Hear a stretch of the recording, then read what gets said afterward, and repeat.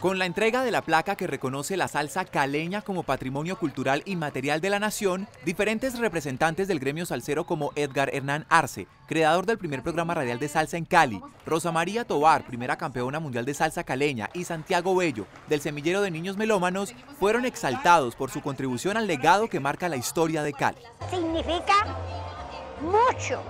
porque se nos abren muchos legados para todos los bailarines, las escuelas, con las parejas,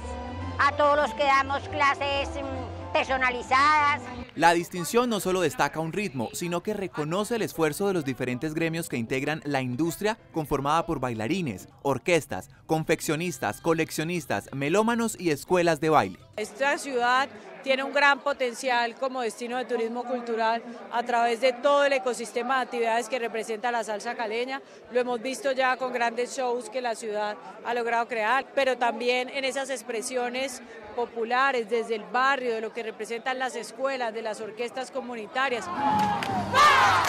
Este reconocimiento implica el apoyo a los procesos de formación y acompañamiento en emprendimientos y procesos de la salsa, dejando una ruta para preservar esta manifestación cultural.